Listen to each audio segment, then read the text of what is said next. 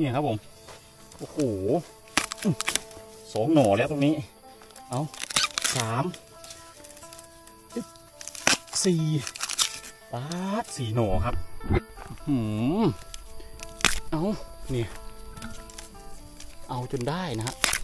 อันนี้คือแบบอันนี้คือได้กอเดียวนะผมกอเดียวแบบจุกๆเลยนะ โอ้โห เท่านี้ก็ประมาณ 20 บาทนะผม เท่านี้ประมาณ 20 บาทนะ วันนี้ต้องมันหมานะผมวันนี้ สวยเกินหน่อนี้นะครับอ่าแบบต้องการนะถ้าเป็นหน่อไม้โฮเอ้ยหน่อไม้ไร่นะผมหน่อไม้ไร่ถ้าได้ลักษณะประมาณนี้จะสวยมากๆเลย ได้ทุกต้นทุกกอนะครับนี่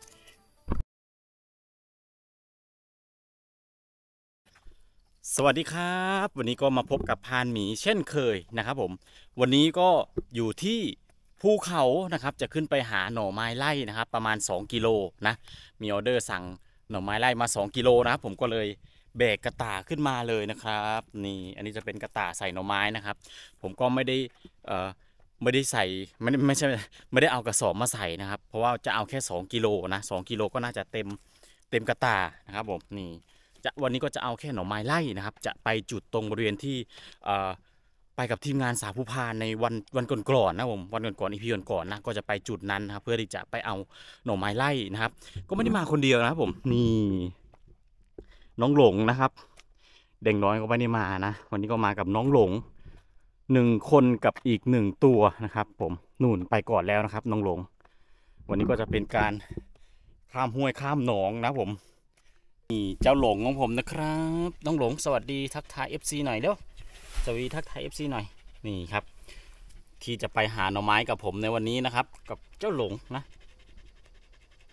โห เสียงหายใจนะผม เสียงหายใจยิ้มแบบ ยิ้มแบบแฉ่งๆเลยนะฮะ โอ้โห น้องหลงของเรา โอ้โห เจ้าก็จะยิ้มเกินที่จะไปไหน จะไปไหน นี่ โอ้โห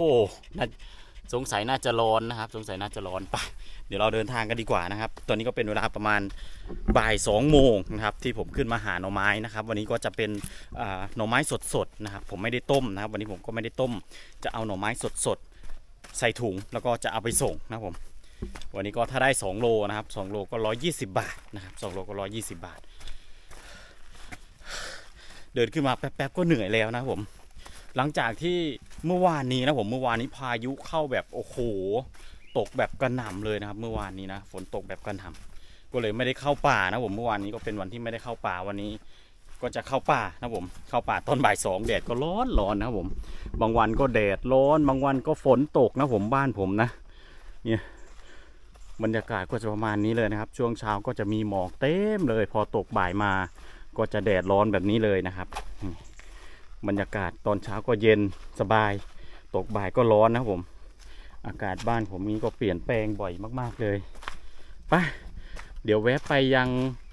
ป่าหน่อไม้เลยแล้วกันนะครับ เพื่อไม่ให้เป็นการเสียเวลานะ ทุกท่านจะได้ชมคลิปกับผมแบบสับหน่อไม้แบบชุบๆๆนะครับผมไป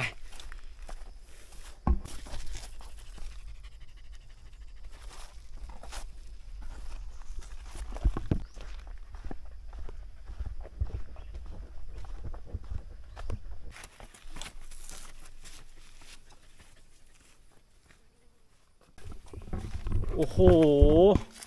สงสัยร้อนนะครับ มาวิ่งมาแมบน้ำอยู่ตรงนี้เองโอ้โหเล่นน้ำแล้วนะครับผมน้องหลงเล่นน้ำแล้ว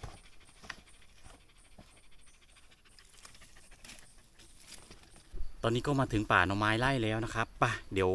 เราเอาหน่อไม้กันเลยดีกว่านะครับ นี่ครับโอ้หน่อไม้ไล่สวยมากเลยโอ้โหวันนี้ก็ใช้เป็น มีดใหญ่เลยนะครับ ไม่ได้ใช้เป็นมีดน้อยนะ เพราะว่ามีดน้อยผมลืมเอามานะครับ ผมก็เลยต้องใช้มีดใหญ่ๆเลยนี่นี่ครับหน่อไม้ไล่โอ้โหมีแต่สวยๆเลย หน่อไม้ก็กำลังเป็นหน่อหูกระต่ายนะครับ บ้านผมเรียกว่า หน่อไม้ไล่หูกระต่ายนะครับนี่โอ้โห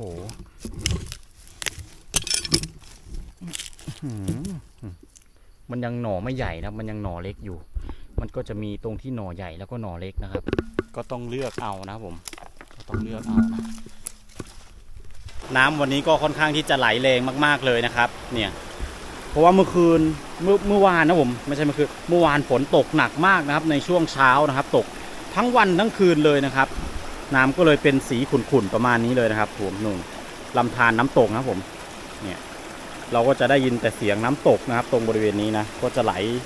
ไปยังนู้นนู่นนู่นนู่นน้องหลงมงครับผม สังเกตดูน้องหลงมงนะลงไปเล่นน้ำรอแล้วนะครับนู่นโอ้โหอะเดี๋ยวเราข้ามห้วยกันดีกว่าครับผม ก็จะกระโดดข้ามไปแบบนี้เลยนะครับนี่บรรยากาศก็ชิวๆนะผมวันนี้นะ กับบรรยากาศที่โอ้โห เย็นๆช่ำๆนะผมบวกร้อนนิดๆนะถ้าอยู่ตรงบริเวณลำห้วยนี้ก็จะเย็นนะผมเพราะว่ามันมีเสียงน้ำนะผมเสียงน้ำแล้วก็ละอองน้ำมันขึ้นมาเนี่ยครับผมน้ำก็จะไหลตามโขดหินลงมาเลยนะครับ อันนี้ก็จะเป็นต้นไม้ใหญ่นะครับต้นไม้ใหญ่โขดหินเป็นชั้นน้ำตกลงไปข้างล่างนะครับ เนี่ยนู่นอันนั้นว่าจะเป็นน้องหลงนะครับนู่น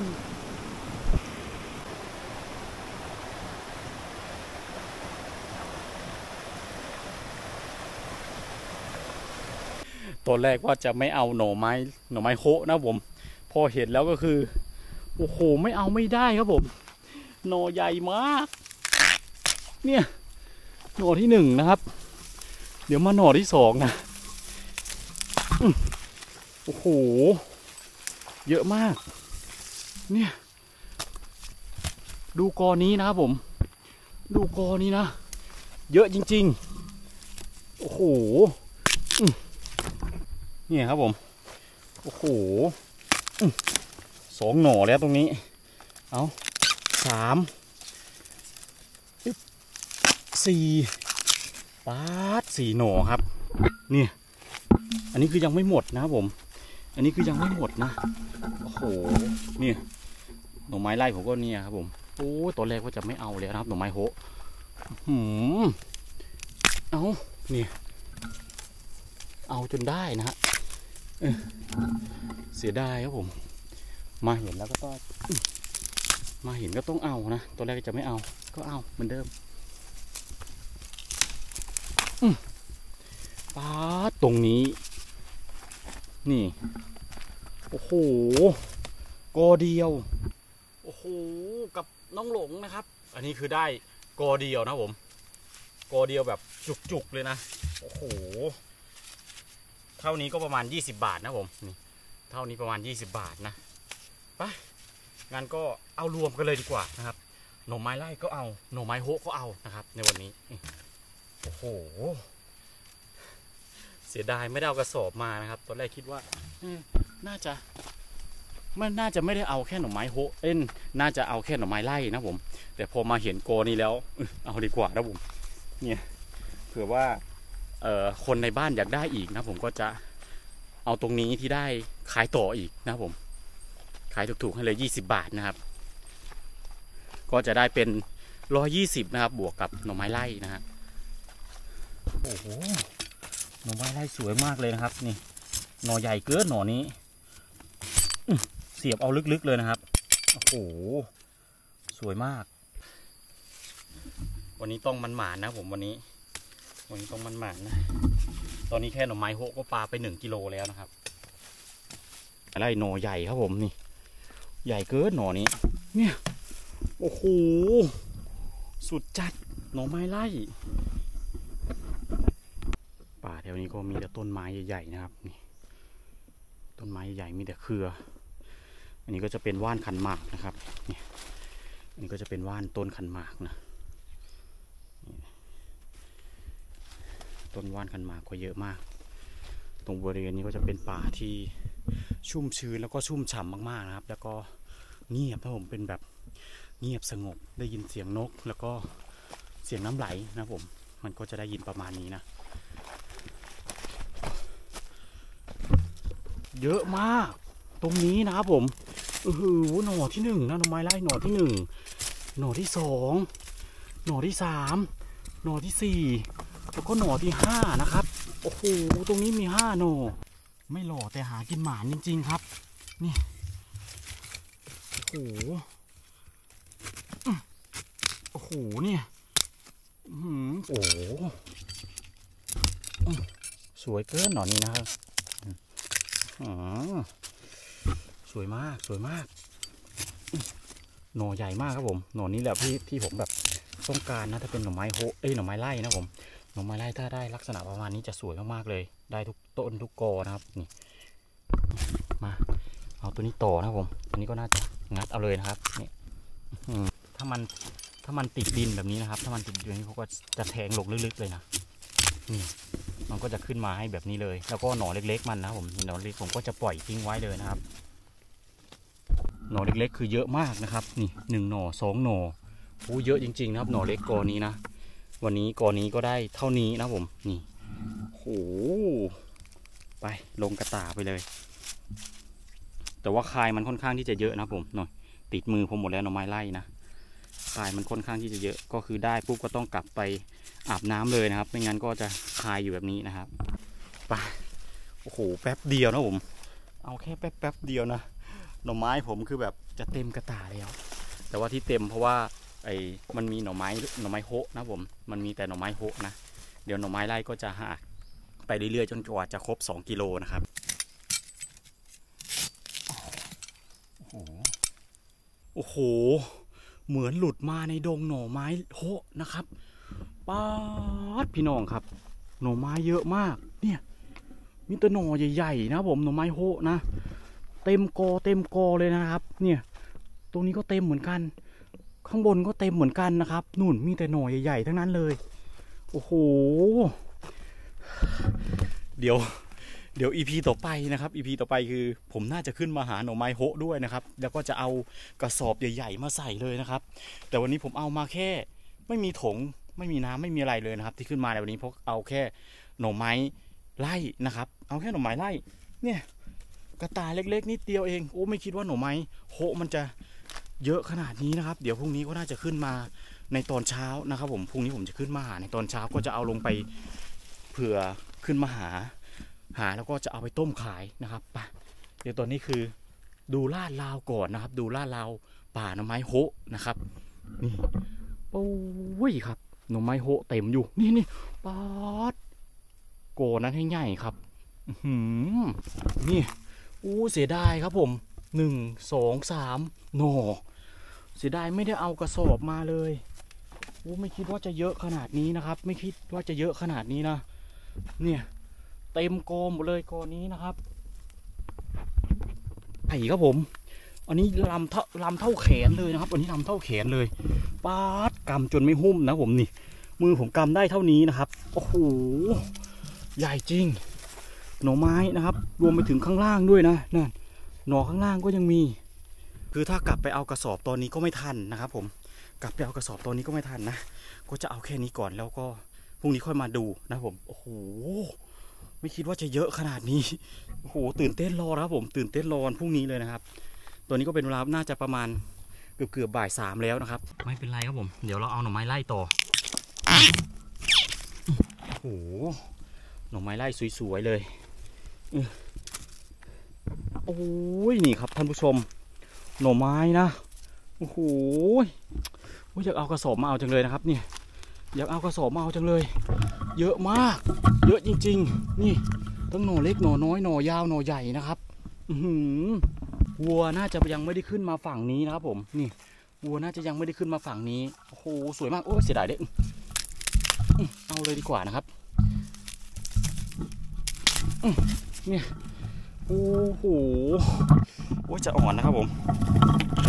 จะอ่อนหน่อไม้มากเนี่ย เต็มกระตาผมแล้ว ที่เต็มเพราะว่าหน่อไม้โฮนะครับ ไม่ใช่หน่อไม้ไล่นะไปไปไปมัวแต่ชม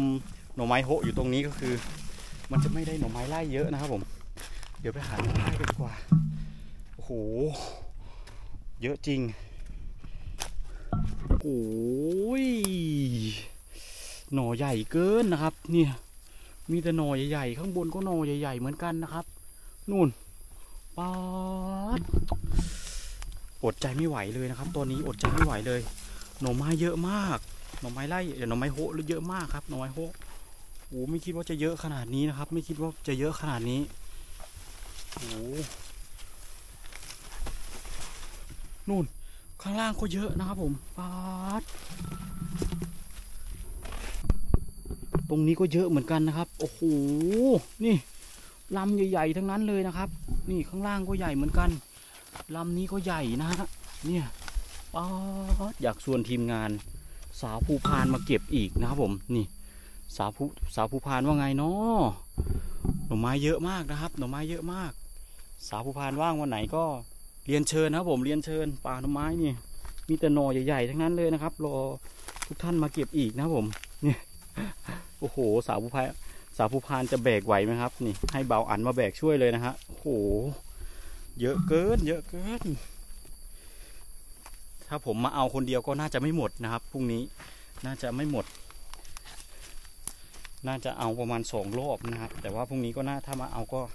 น่าจะเอากระสอบหนึ่งพอนะผมเดี๋ยวแบกกลับไม่ไหวนะครับ หน่อไม้เป็นอะไรที่หนักมากๆเลยนะครับ หน่อไม้ขึ้นหนักมากๆเลยนะ ผมเคยแบกแล้ว แบกแบบเยอะๆนะผมเยอะมากเยอะแบบกระสอบหนึ่งในอีพีก่อนๆนะครับผมปวดหลังมาสามวันนะผมปวดหลังมาสามวัน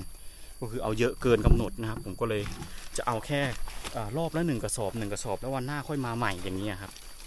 นี่โอ้โหเอาแป๊บเดียวนะผมไปเจอหน่อไม้กอเดียวนะได้ทั้งหน่อไม้โฮแล้วก็หน่อไม้ไล่นะผมหน่อไม้โฮหน่อไม้โฮก็จะอยู่ข้างบนนะผมส่วนหน่อไม้ไล่มันก็จะอยู่ข้างล่างนะนี่นี่ครับ ไม้ไล่ก็สวยเกินนะครับ หน่อไม้ไล่นี่โอ้โห สุดยอด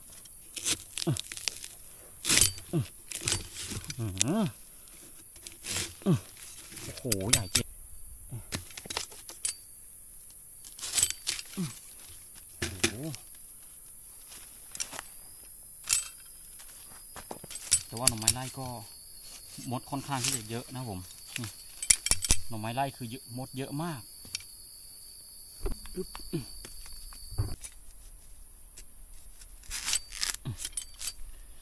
โอ้โหมดก็เยอะเกินนะครับ อันนี้คือร่องรอยของอบ่าวแมนนะผมบ่าวแมนคนเดินป่านะที่มาเอาในอีพีก่อนนะผมเขาก็มาเอาอยู่ตรงนี้แหละ คือตรงที่เดียวนะครับ ตรงเดียวก็คือได้เกือบเต็มกระตานะครับแถวตรงนี้นะ แต่ว่าตรงนี้มันก็ค่อนข้างที่จะหน่อมันมันเล็กนะผม ตรงนี้หน่อเล็กอยู่ นี่มันยังไม่ใหญ่นะโอ้โหหน่อนี้คือสวยงามมากนะครับ หน่อนี้สวยงามมาก นี่สวยงามจริง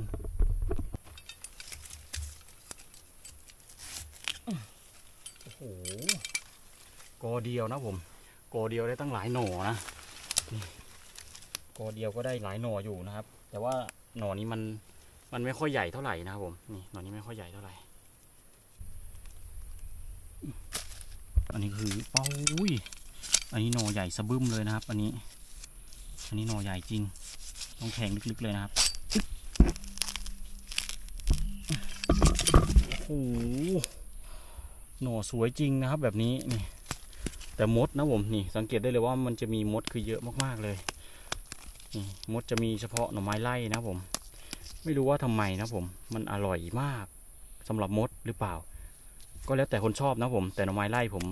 ชอบเวลาเอาไปแกงนะผม เวลาเอาไปแกงนี่หน่อไม้ไล่จะอร่อยมากๆเลยนะถ้าเป็นหน่อไม้โฮนี่ก็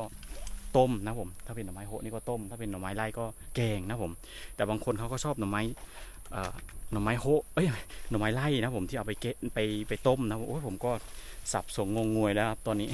พูดผิดพูดถูกไปแล้วนะครับผม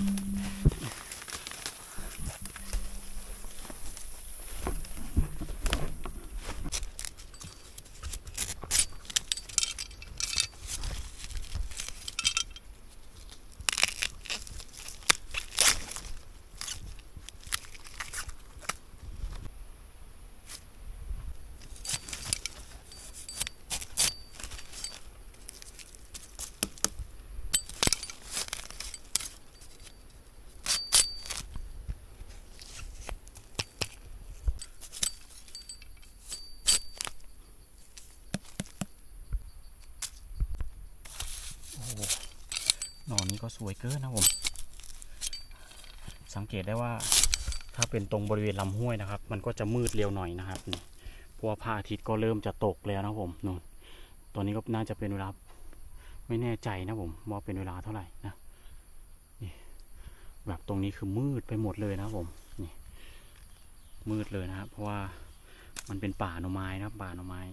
แดดมันอาจจะส่องลงไม่ถึงเท่าไหร่นะครับ ตรงนี้ก็เลยเกิดความชุ่มชื้นอยู่ตลอดนะนี่ ตรงนี้ก็เลยเกิดความชุ่มชื้นอยู่ตลอดนะครับ อีกอย่างก็คือ